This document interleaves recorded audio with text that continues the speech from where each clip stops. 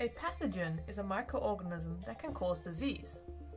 In this video, we are going to discover what they are exactly, how they can spread and cause infection, and how their spread can be reduced or prevented. Pathogens may be viruses, bacteria, protists, or fungi. They are just microorganisms that can cause disease.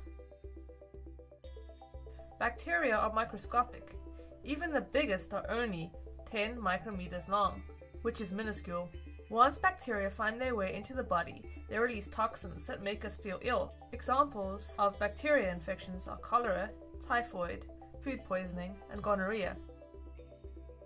Although bacteria are very small, viruses are much, much smaller again. They are among the smallest organisms we know of. Viruses not only enter your body, but they enter into cells and reproduce inside cells. They reproduce hundreds of thousands of times and eventually cause the host cell to explode. The virus then passes out through the airwaves, bloodstream, or other route and can spread through populations. Examples of viral infections are the flu, influenza, measles, mumps, the common cold, and AIDS. Of the thousands of species of fungi, a few can cause human diseases. They can cause minor skin conditions all the way up to life-threatening diseases.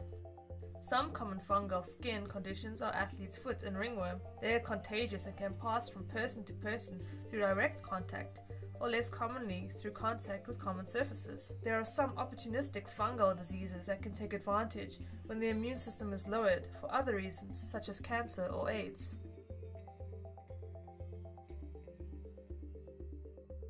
Protists are single cell organisms. Some protists can contaminate food and cause amoebic dysentery, which is an intestine infection and results in severe diarrhea. Protist pathogens can also be parasitic. They live in or on other organisms and cause harm. Malaria is an example of a protist pathogen that lives in the blood and is transmitted by mosquitoes.